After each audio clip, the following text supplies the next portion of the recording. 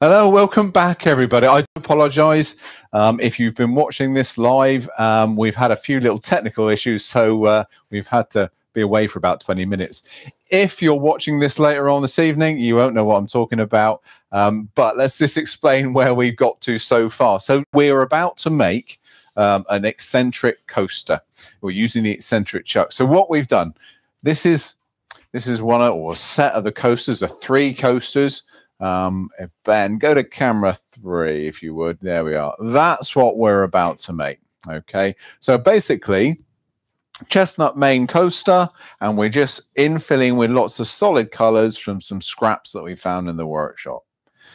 Before everything went wrong a minute ago, we were just making a few little wooden, wooden discs okay, from a square section using side grain, creating a few of these in various timbers, okay. And now we're going to start making the recess to hold each one, glue them in, then um, plane off that top surface on the lathe. So we've got a nice coaster. I'm probably going to do about three or four um, uh, inserts in this one, just because I don't want you there all day, um, especially as we've had a bit of a delay in getting this to you. So what I've done is I've offset, and I mean, in fact, I'll take it off the lathe again just because we've had a bit of a, a hiccup. So that's the eccentric chuck, the back of the eccentric chuck. You can see here that I've moved it offset. So my middle position was here. I've just, let me get that in line with the camera, middle position there. I've just moved it and locked it back in. So it's at its full extreme position to create that first, or what will be the first uh, recess. We're going to use one of the larger pieces as well. So I've got a bit of brown oak. I've measured it. excuse me. I've measured it already. And we are at 46 uh, mil. So I've got a set of dividers here I've managed to work out with my lengthy um, education, the half of 46, is 23. So what we're going to do is pop the center of, or one side of the divider over the center point, which I've done with a little pencil, and just roughly scribe the outer ring. So I'll just mark that with a pencil just so you can see a little bit easier is to the diameter that we're creating. Now, I've got lots of little billets back here. So if I do make a mistake and I've gone too big with my recess, I can put another one in or I can turn another one to fit. So it's not over accurate, you're turning. Just, I would say, start a little bit inward of your line and slowly sort of creep out as you as you sort of refine that shape. I'm going to go with, I don't know, what should we go? Let's go with a parting tool to start with. So let's just bring my tool rest back a little bit. And if you're going to use a parting tool to do this job, you've got to think about a couple of things, especially a regular parting tool. It's quite a deep chisel, okay? And if I start with this tool rest just on center line, I'm going to be cutting way above. So I'm going to drop the tool rest, but also I've brought it back a little bit because of the shape of the parting tool. I want to make sure that I'm actually being supported properly. So I've come back a wee bit and I've dropped it down a little bit. Yes, we got Craig with some questions. Yes. Uh, Jim, B's, Jim B is asking, uh, can you sing the song? Can you see? Uh, no, it, it, was a rugby song, and it's not for broadcasting, really. So, uh, but Craig's got quite a few that he might uh, fill in later. Definitely not for broadcasting. Another question, all right? Uh, we're okay. For we're okay for the minute. Yeah. So, uh, the other thing that I was talking about before we um, had to go offline for a while was that once we've um, offset that chuck make sure you start the lathe at a slower speed. So ideally, right the way down to zero, start the machine, then creep the speed up gently because you don't know how uneven or unbalanced that piece is going to be. Um, and you don't want any accidents. You know, you've, you've, you've been turning at a really, really fast speed. You then suddenly turn a, an offset piece on and it's wobbling all over the place. So just a little bit of care. There we are. So all I'm going to do to start with is make my cut. And I want to be down around about three mil deep. There we are. That's about three mil.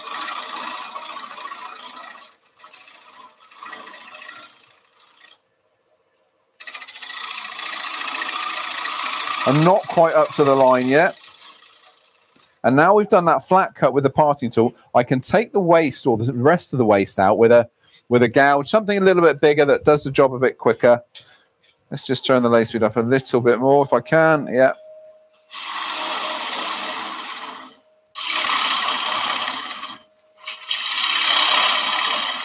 And remember what I was saying earlier was that I want to keep the bottom of this recess as flat as I possibly can. So we all know what's coming next, don't we? We got the Colwin Way signature skew chisel here. We're just going to run that along the bottom. Just as a little negative rake scraper. Ideal for that sort of thing. Yes, Craig. Does the chuck come with instructions or is it trial and error? Um, yes, in both counts. It does come with instructions. We are busy putting, to putting together a few videos and some even more greater detailed instructions. But also, there's a lot of trial and error because certainly when you start going to what I call the 3D projects, so this is flat work. So what I'm doing here and what Jason done last week was flat work. But there are also a lot of projects that you can do um, in the in the sort of 3D sort of um, spiral staircase style stuff. Um, so that does take a lot of imagination, and every time you get to play with the, the spiraling touch, you'll get a little bit a little bit more understanding of it. So yeah, bit of both really. Yes, Greg. Yeah, maybe you could give David a bit of guidance. He's had an incident where a 13-inch rosewood bowl jumped out of the 50 mil O'Donnell jaws. This is the second time that he's had something similar with the O'Donnell but never the jaws. Um, he was at the standing stage running at about 2,000 RPM. Way too fast, unfortunately. 2,000 at a 13 inch bowl, um, you need to get your speed down. Um, I would go 13 to 1400, absolutely. Um, I don't know what size the footed, but immediately, as soon as you said, as soon as Gray said 2000, um, my eyes went uh, lit up. Then there's too fast down to about 13 to 1400. Several things. Um, apart from your safety, is the heating up of that bowl. That diameter will heat up so quickly at 2000 revs. I will. I'm only doing a thousand revs here, and this is 100 mil across. Yeah, I know it's it's eccentric, um, but even when it was um, perfectly round, I was only doing about 1800. So get the speed down. Um, yeah, your the the the depth of your foot could be an issue as well. Um, but I would say foremost it's the it's the speed. Uh, also, it, it is has the foot split away is the other thing, or is it whole? Because if it hasn't split away in a dovetail, there's no reason why that should come out of the chuck. Generally, they come out when the the whole foot comes off. Yes, Craig. And David's commented again. Could be why it failed. The heat. Um, it shouldn't. No, if if it'll get hot, so the timber will split on the end grain. Um, that that'll be the issue. The speed, this would be the centrifugal force which have thrown it out of the chuck because you'll still have an unbalanced piece there. You've got end grain and side grain, so get that speed down. That that's the key there, and I think you'll be all right. Yeah, definitely. Little bit, little bit slower. Um, I'm guessing that was the pit, bit that I measured it earlier. Um, it's getting close. I still still need to take a little bit more away though. So a little bit at a time. I'm not going to rush this. We can always take a little bit, a little bit more out. Little tiny bit more. So look, what I've done now, you, I know what the question is going to be. Why am I using the uh, the signature skew? Let me get this on camera so you can see. So the signature skew has these lovely radiused edges. So it runs along the tool rest beautifully. It'll um, roll a bead nicely. Um, but what we need to give a nice 90 degree scrape in there is a hard edge. So I need that flat surface of a standard skew. That's why I'm using that one.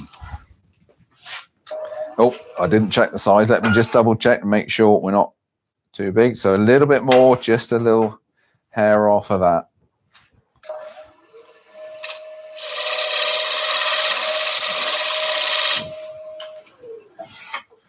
Double check. So it's almost there. I just need to skim that and we'll be in.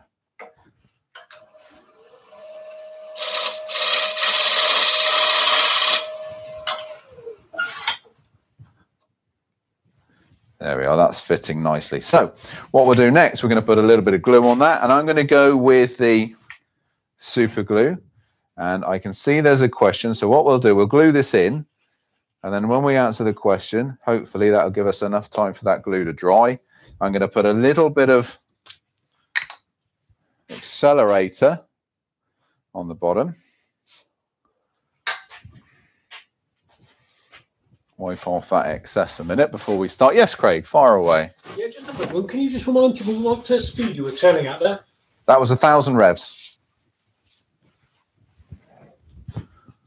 So I need to react quite quickly now with what I'm doing. So I'm going to put this into that hole with accelerator on it. So I'm going to start off in the hole and we're then going to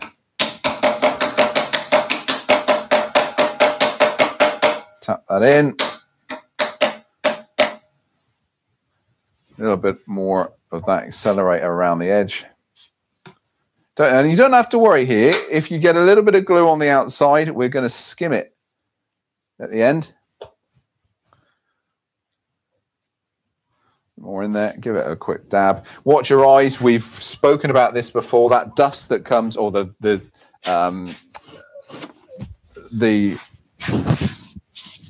fumes that come out from there can be quite nasty. Um, so you've got to watch your eyes. We're just going to skim that away a minute. Lathe speed back to zero. Gently turn that lathe on. And we're going to go with a bowl gouge.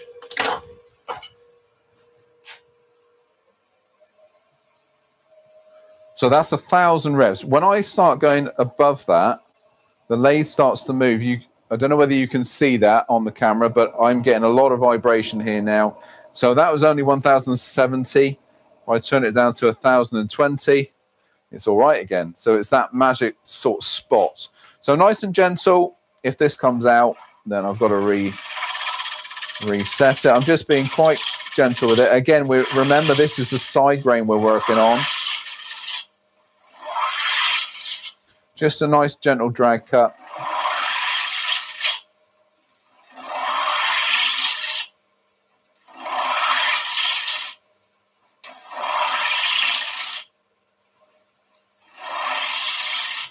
Now push cut just to clean up. And that's all I'm going to do. I'm not going to worry about it being absolutely flush at this stage. Because if you think you're going to have a lot of these to do, and so you may as well wait until the end. You've got them all in, they're all glued, and then you can do one nice flush cut to finish them all off. Yes, Craig. You've got a question here from Piers. Uh, he wants to know what's the difference between a normal cryo and the Crown Cryo David Ellsworth signature bowl gouge. Sorry, say that again. Normal cryo. Between the normal Crown Cryo yeah. and the David Ellsworth signature. So the David Ellsworth a David Ellsworth grind. So David Ellsworth is a very well-known wood turner in the US. Look him up. He does some fantastic hollow forms and bowls. Um, but he has developed this grind with massively swept back wings that fold right the way in toward the flute. David Ellsworth grind will be still a cryo gouge, and they will mimic um, quarter inch, three eight, half inch, five eight gouges in the US. Um, but it has this signature grind when you get it. So that's the only difference. The actual still's the same. It's the, the shape of the grind on the gouge um, as, as it comes. Yes.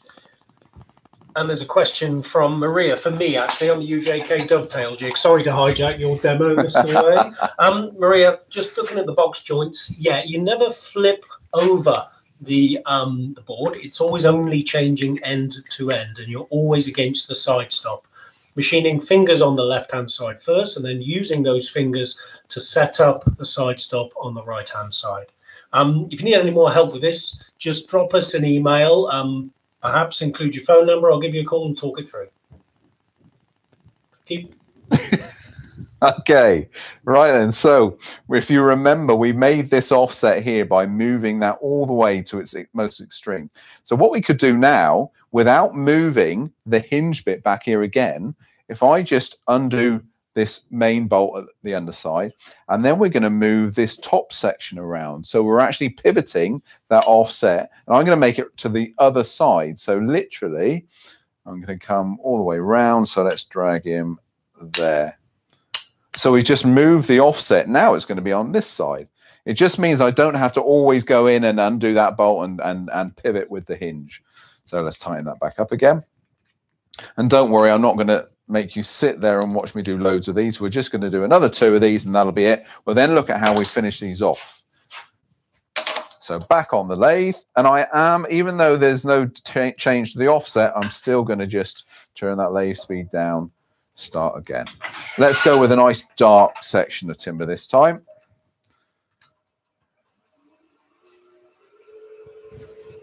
Give you an idea where where we are, that we're over the other side of where we were a moment ago. So let's go with a bit of, this is a bit of blackwood. So again, we're doing the same process. We're going to measure and we are 34-ish.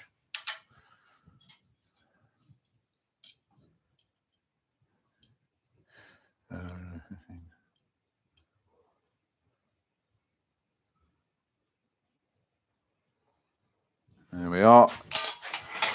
Always go slightly smaller, uh, obviously, rather than slightly bigger. 1000 revs again is working, so we'll go to that.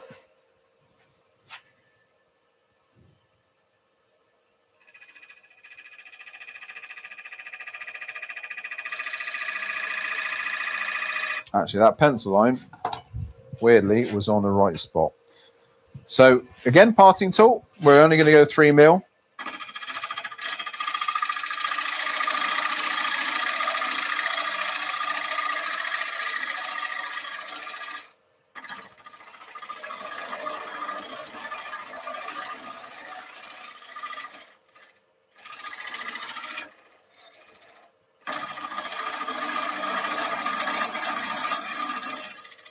And we are back with a bowl gouge.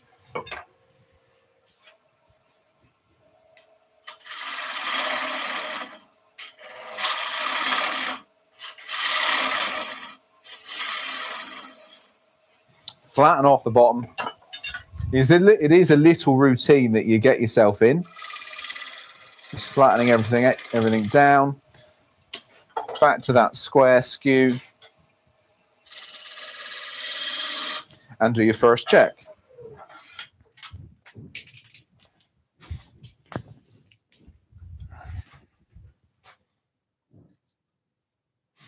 I would say there we probably a good mill and a half to come out of that yet. 16th ish.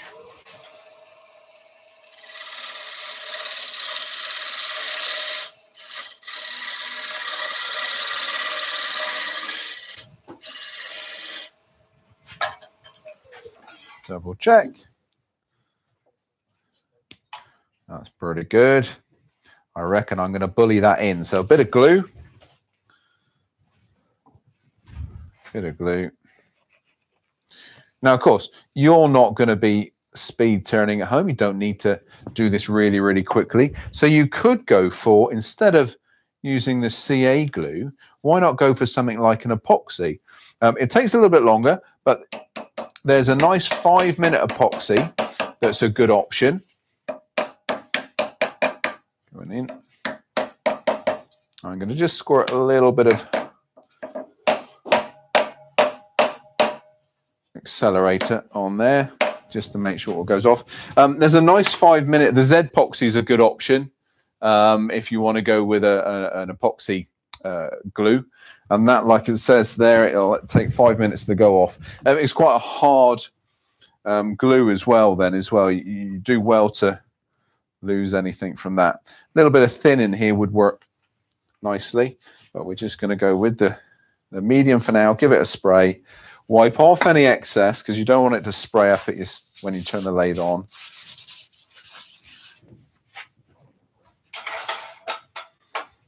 There we are, Lathe speed. Back to normal, bowl gouge again. So we're going to just do a nice gentle cut.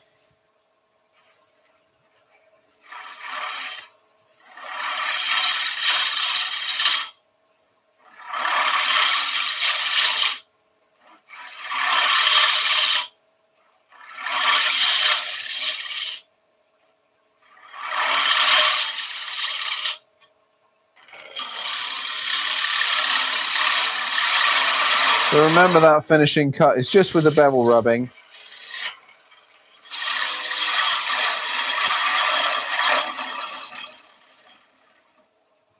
Right, let's see where we are. I think we'll just do one more. That'll be it then for this one. So we're going to go with the palest timber that I've got. And again, all I'm going to do is pivot the center pin. We're not going to worry about the, the outside. Not going to worry about the hinge setting here. I'm just going to undo this one.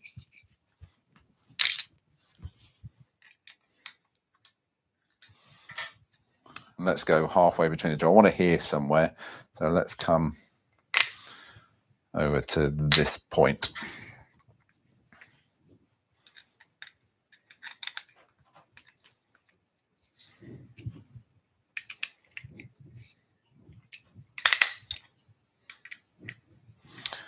There we are. Once you start using this one, you'll you'll get to grips with it fairly quickly. And your imagination then can start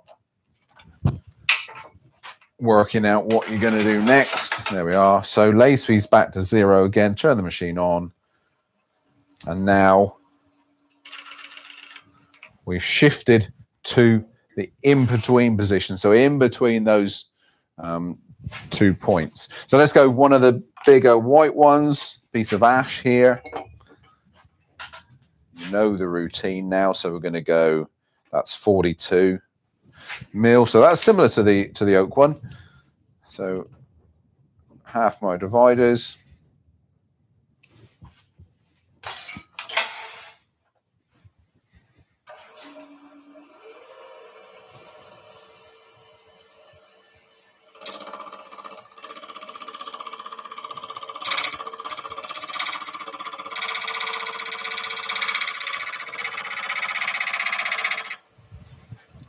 Right there. Really hard to see that one, actually.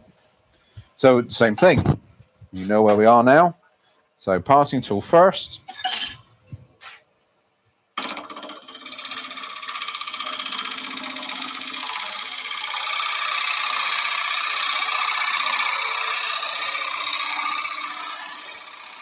It's a really cool shaving. shavings coming off that. It's really cool.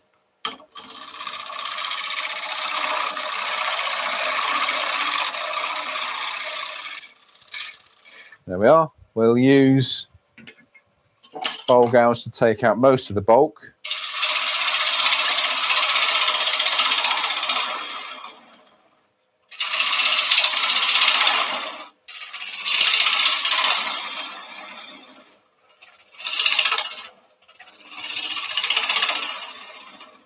And then we're going to scrape the bottom clean.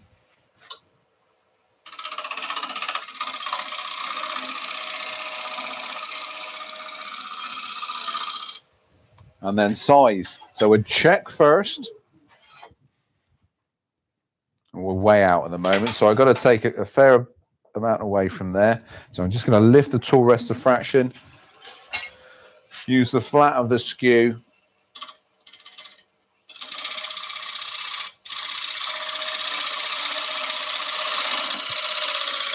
It's ever so easy to get impatient and, and think, oh, I was going to take a bigger cut than I ought to, and then end up having the uh, the little plug wobbling around inside the hole.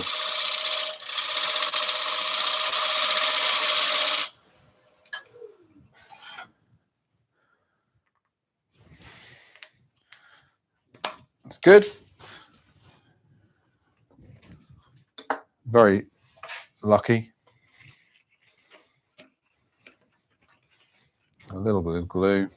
Just to just be careful with this glue. You know, you when I say about making sure it's dry before you turn the lathe on, obviously I'm going to say you must be wearing your safety a minimum of safety specs, but I would say probably better to go with a full face visor, face shield. Do not do this without either because um, you don't want to get any of that glue in your face. You will know all about it if you do.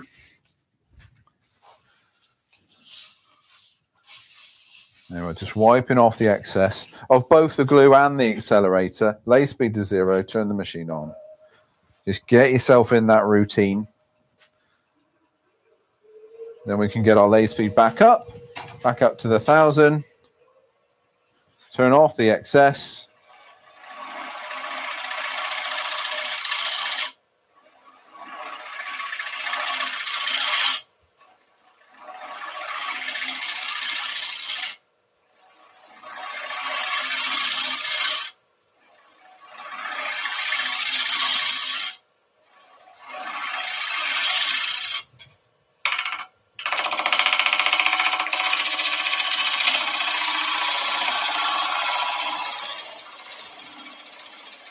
Okay, there we go. So that's that last little bit of excess gone. What we need to do now is we're going to trim everything up. I'm not going to do any more any more holes. You've I think you've seen enough of that. So let's get him back central.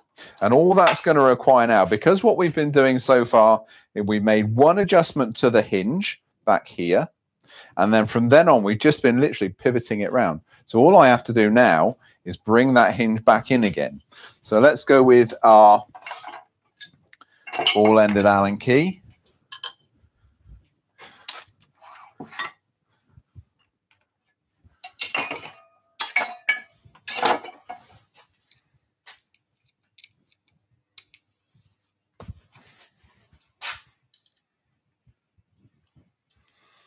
I'm going to remove that single hinge. Get everything back central. We'll skim that surface. Then we're going to remove it from the chuck.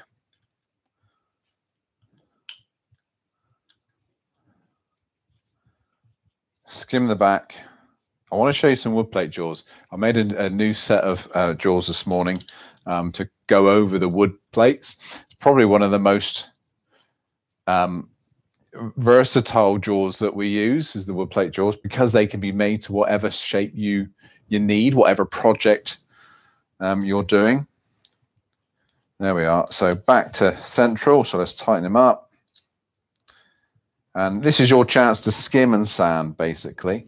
So back in, expand the chuck. If you feel you need to skim that surface, and I do, then let's get nice and central. Lathe speed is zero, turn the machine on, up your speed. There we are. Let's go with the larger of the skews now. We're just going to, I want to be on center.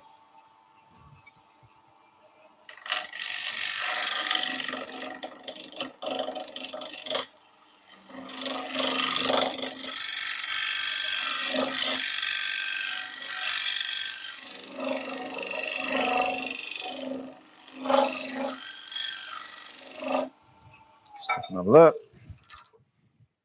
Just a little bit more. And then we're going to sand.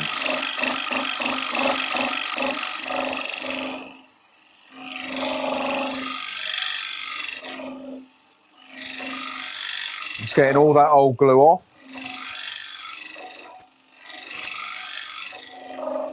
There we are. The outside edge is already done, so I don't need to worry about that. Happy with that look.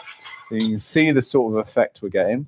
So we're going to put dust extraction on. I'm going to sand from 150, to 240, 400. I'm not going to do any more. Um, and then we can take it off and take the back nice and clean. So uh, 150, 240, 400.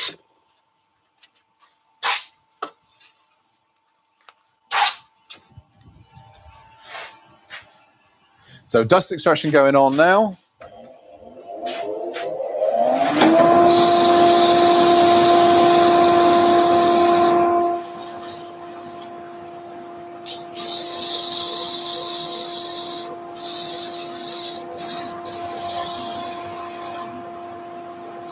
So 240.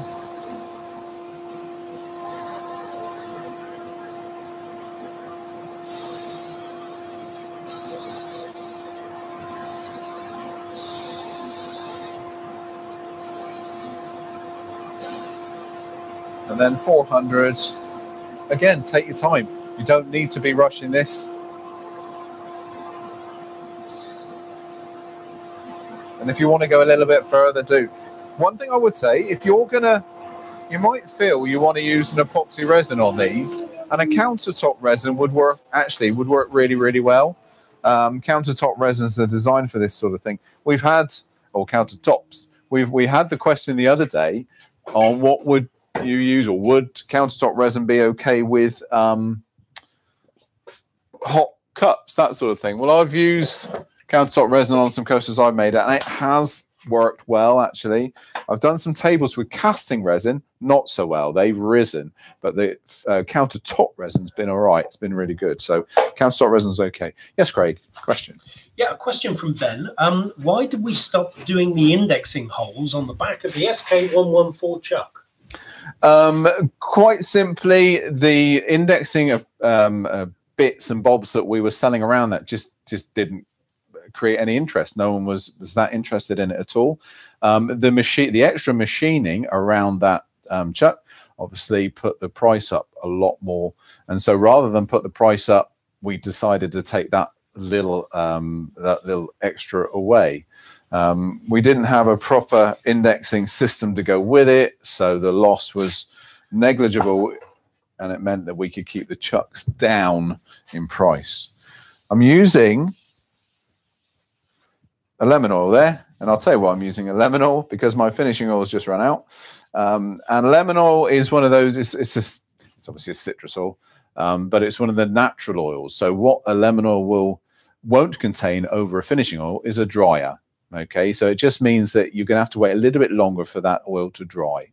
But use the the the old technique of sanding the oil in. So go with a, a 600 or 800 grit abrasive, lathe speed down to really, really slow. Sand it in, create some friction and, um, and burnish.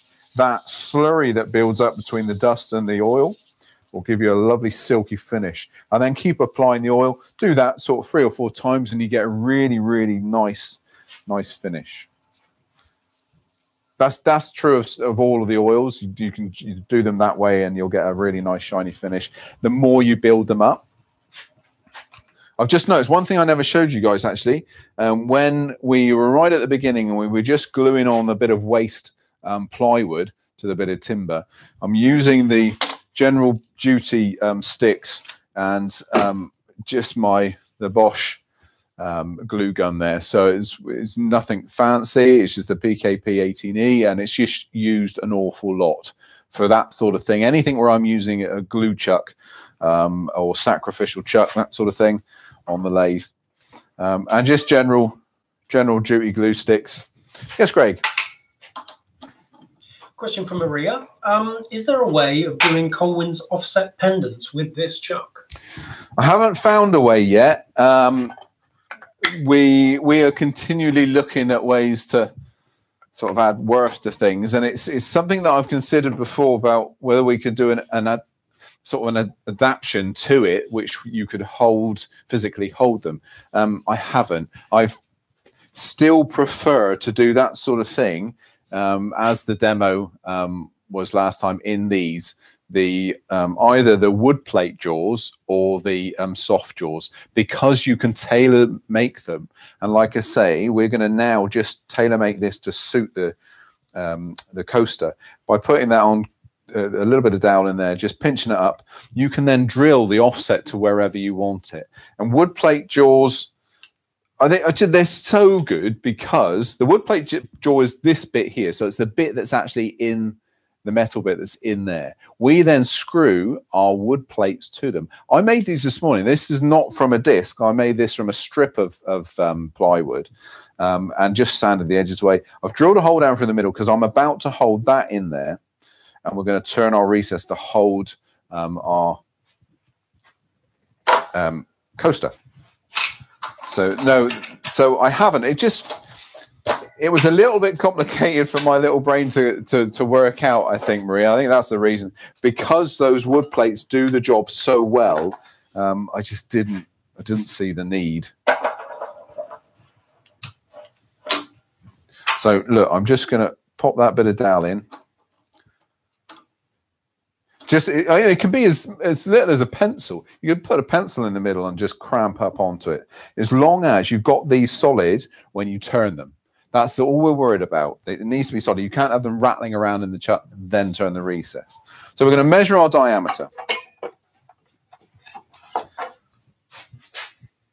That's 95.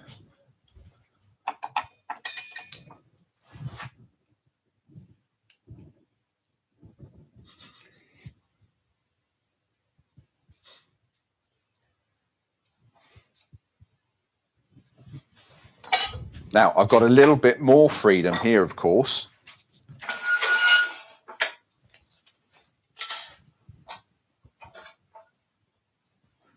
Because, uh, because the jaws move, I don't have to worry so much about being, you know, millimeter perfect.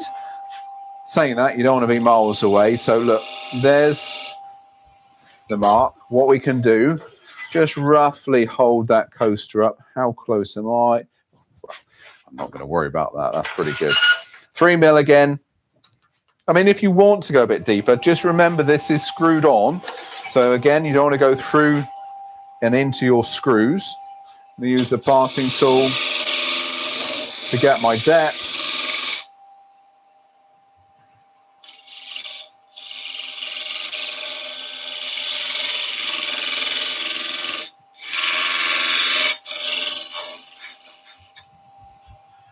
And then bowl gouge, like like um, like we've done on the coaster, bowl gouge to do rest of the bulk removal.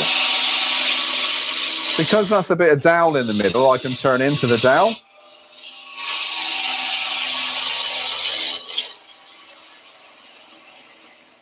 Not a problem. And then we're just going to true up in the same way, true up with the skew chisel. So we've got a nice, true outer edge.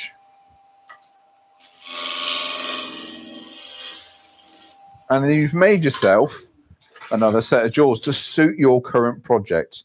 That's what I like about them so much. There we are. So let's take out our bit of dowel. Get out of the way. Take our coaster out of its eccentric chuck.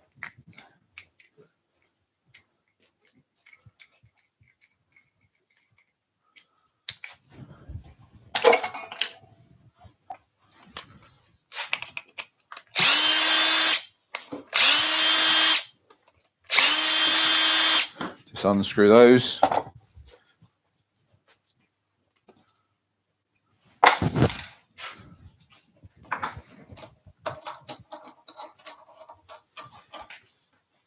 And you've got yourself your custom made jaws. Now, I would certainly go with plywood, not MDF here. MDF tends to delaminate quite easily. So go with your ply, 1000 revs,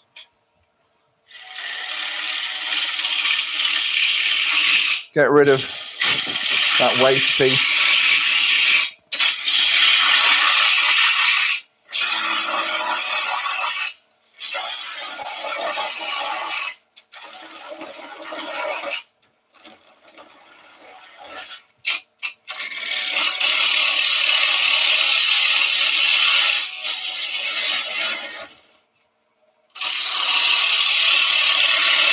Now you have the opportunity to make these as thin as you want them.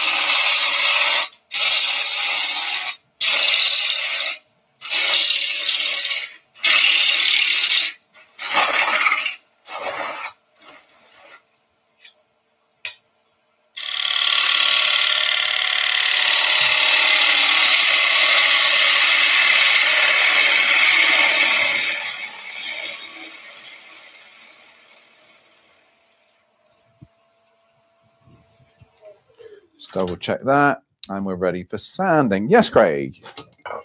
Yes, I've got a couple questions. One, uh, the first one's from Paul Otter, um, who just commented he managed to glue, when you were talking about CA glue, managed to glue his son's robot to his leg whilst fixing it. so, um, hmm, well done, Paul. Um, but the question from Paul, can you use one set of jaw plates to create multiple jaws by screwing them on and off, or will they wear out? Um, they, they absolutely they will wear out over time, but we we are.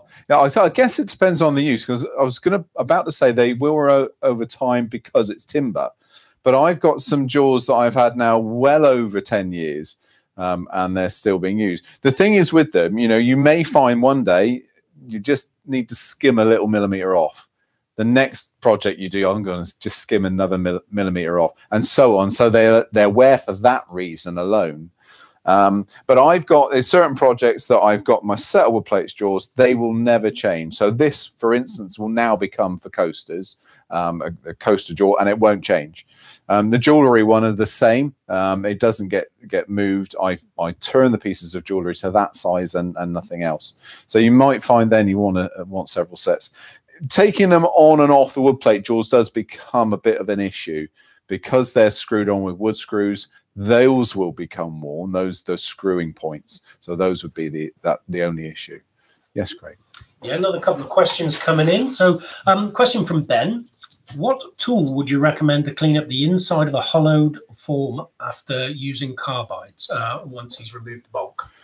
Depends on what you want to with, with that hollow form, what you want it to be. So if it's a hollow form with a very, very small opening at the top, I wouldn't worry too much. Put a bit of blackboard paint on the inside, it adds a bit of mystery, doesn't it? But if it's an open hollow form, then you're going to shear scrape. So find yourself a decent shear scraper, get it on the 45 and scrape from center back up. Make sure you've got that tool rest in a decent decent um, uh, amount so it's supporting all the way. So a shear scraper would be my, my advice really. And a question from Jim: Is there a reason why you didn't just cut off with a parting tool while on the spiral chuck? Um, it's, it's quite a deep uh, piece of turning now. So it's a, almost 100 mil, and a spiral, uh, a parting tool down end grain just doesn't like it that much. It will generate quite a lot of heat. I didn't want to have too much flexing around there, so I just find this a lot easier. Um, and also, I wanted to, to you know, to to clean up that top surface as well. So that was the only reason. Um, and they're just so easy to to um, to use, you know. Bit of extraction on now. We're just going to very quickly sand this up.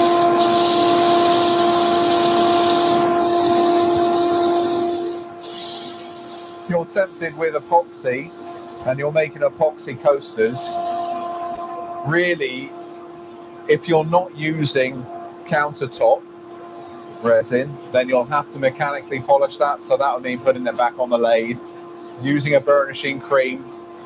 And then again, this is the best way.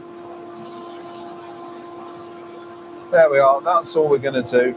You know the form. You know you're going to spend a little bit longer doing doing this process than I'm doing here. Before we wrap this one up, I just want to say for those people that stuck with us while we were going through a little bit of an issue earlier, thank you very much, of course, for singing songs and all those sorts of things. There we are. A little bit of that lemon oil on the bottom. Let's just give it a little bit of a run over with a 600, low speed. So you don't get a face full of oil, really. And as that starts to get absorbed, then you can turn the speed up a little bit. Another coat of oil. And give it a decent burnish. A little bit of tissue, just to give it a hard burnish. Then that, that should be that then. Okay, how are we doing there for questions, Craig? Are we good? No, a lot of uh, thank yous and praise. Excellent demo. So uh, thank you everybody for watching. Yeah, thanks for watching. And also, like I said earlier, thanks so much for sticking with us. Um, if you're watching this later on, um, I hope you've enjoyed that there we are. There's our offset coasters. There will be more coming from the offset eccentric chucks as we go through the next few months. There's so many things it can do. Um, but once again, we've done another Woodworking Wisdom uh, live stream for you. So thanks ever so much for joining us. Back tomorrow with Ben, of course, and then again on Thursday with uh, with Craig. So thanks for watching. Been Colwin Way. Bye bye.